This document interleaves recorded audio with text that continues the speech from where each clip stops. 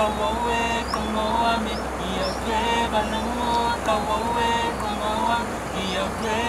mo kawowe